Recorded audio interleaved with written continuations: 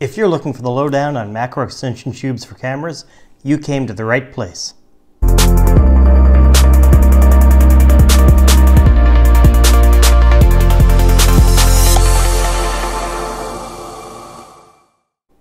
Hey there, thanks for coming. My name's Terrance. If this is the first time to this channel and you're looking to learn about photography and take better photographs, then click subscribe below and hit the bell notification icon so you'll be notified when new content comes out. If you're looking to find out what macro extension tubes are and want to know what they're all about, then you have come to the right channel. I'm going to explain what they are, how they work, how to install them, and why you should get them. I think I just gave you the finger gun just like this. Pretty lame? Cheesy? whatever, or does it really matter? Vote now, and I promise I'm trying to get better for you. So let's get into it. Macro extension tubes are attachments that allow you to turn any lens, like a lens like this here, into a macro lens. Uh, a macro lens, if you didn't already know, is a, a lens that allows you to focus and zoom at something at a much closer distance than you normally can.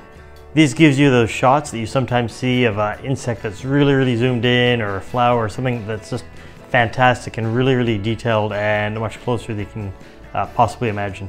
Macro extension tubes uh, actually pretty work simply by attaching in between your camera body and the camera lens by giving you a greater distance between the sensor uh, in your camera and then the start of the lens.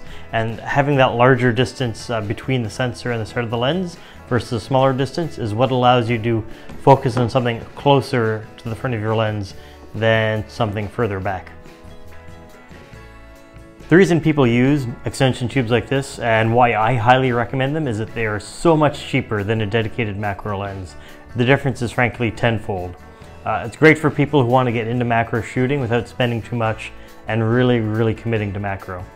And if you want to just try macro and if you've never done any macro shop before and you want to check out um, how it's going to work, I've got a hack on turning any lens like this into a macro lens for free It'll take you uh, several seconds to do.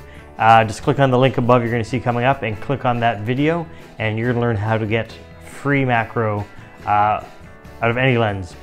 There are two type of macro extension tubes, automatic ones and manual ones. Uh, so manual ones like this one here are uh, super cheap, cost around 15 bucks and they work fairly well. The reason they're cheap is that there's no communication between the lens and the camera. So uh, any of the functions you might do on your, uh, your camera here that's going to adjust the uh, autofocus or image stabilization or any functionality in your lens that you can control on the camera, you will not have any of that. While it does seem a bit drastic, uh, it's not actually a big issue. Just know you have to manually focus. Uh, know that you're always going to be defaulting to your widest aperture and that's uh, to, to, know that's how a lens works that if there's no power going to it it defaults as wide and then move on from there if you take a look at these pictures that are coming up on the screen, uh, these are ones I took using this exact extension tube. Um, I think it was with my uh, Canon 40D, not my, uh, my 5D, but uh, same diff, and they came out fantastic if you ask me. And I have a link below if you just want to click in my description of where you can get these on Amazon for, like I said, about 15 bucks if you're looking to pick one of these up. This one here is an automatic lens. It's the Opteka um, uh, automatic macro extension tube. Uh, I think they still make them. The benefit of the automatic version uh, versus the, the manual version like I had here is that all your connectivity between the camera and the lens will continue to work. If you look inside, you'll see why that is. Uh, you have all of the, uh, the uh, connections to, to the sensor, or to the, the camera, to the, to the lens, that allows it to communicate and give power to the lens so everything will continue working when you uh, when you put this on. For around 30 bucks or so, it's a worthwhile deal. I've got a link below to Amazon where you can get these as well. Um, highly recommend if you're gonna do a macro extension tube, if you're not on a budget, you could double it to, uh, to 30 bucks or so. Uh, get the automatic one, I think that's a great idea. In terms of using these Canon extension tubes, it's pretty simple. I'll show you these three steps that I follow when putting them on my Canon 5D Mark II. First thing you want to do is assess how many rings you're going to use.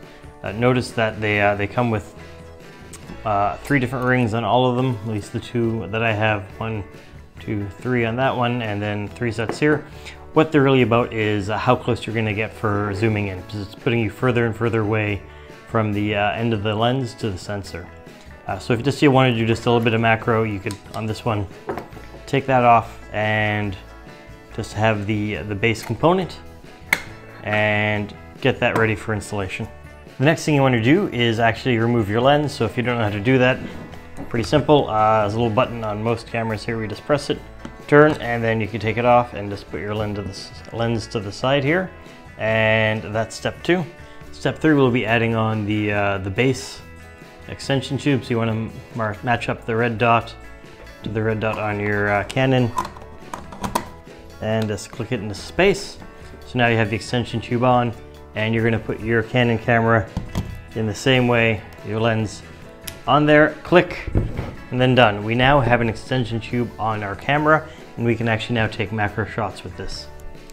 The one thing I'd note is if you're actually using a really heavy lens, so not like uh, this 24 to 105 is not too bad of a lens, uh, but something that's uh, you know a, a, lot bigger, really a large zoom lens, maybe the 70 to 200, or if you got a, I have a 100 to 400 lens, that's a bit of a beast. When using these tubes, I'd be worried about putting a lot of stress of a lens that heavy on the tubes up front. Uh, I would just say take note of that. You probably want something resting the lens and the base as well, or um, doing something else to support it. Uh, I haven't had any trouble with it, but it's just a concern in the back of my mind that you might want to consider that. So there you have it. When you uh, compare this to a $400 entry macro lens, this is a great deal. Uh, like I said, about 30 bucks for this, $15 for that. It's gonna take any lens you have already and turn it into a macro lens. Will it be as good as a dedicated macro lens? Probably not, but if you're getting into it and you, have done my reverse trick from the video I showed earlier on, uh, and you want to do some macro to see if you really like it, this is a cheap entryway in versus $400. And frankly, the, the good macro lens is $800 or more. So this is where you want to go. Note that you need to match your extension tube to the type of camera you have. So if you're using a Canon and you want a, a Canon macro extension tube, you need to get one that's an EF slash EFS if that's the body you have. If you have one of the older uh, mount types on a Canon, you need that. If you're using a, a Nikon, you need to use then a, a Nikon extension tube that's going to be set for the specific mount type it has. If you've got a Sony and you want a Sony uh, camera extension tube, it needs to be for the Sony mount that you're using, uh, and so on and so forth. So pretty straightforward. Easy to find, just go on Amazon or to, uh, to your local camera store and they should have it. Although actually, these may not be as available in camera stores. They're probably gonna sell you the, uh, the main brand extension tubes, like the Canon ones. Super expensive. Uh, you almost may as well buy a macro lens at that point. Uh, I would say stick to Amazon or eBay for these guys. Hopefully you found this video interesting. Uh, if you have, please subscribe. Click the bell notification icon to be notified when a new video of mine comes out. Like this video if you thought it was cool. Share it with friends for other photographers who might want to uh, use this and comment with any questions, feedback, or suggestions below. Uh, I really look forward to that. Finally, if you are interested in taking fantastic sunset photos, I've got a link below to my free guide that's going to show you how to take awesome sunsets. Thanks, this is Terrance. Have a great day.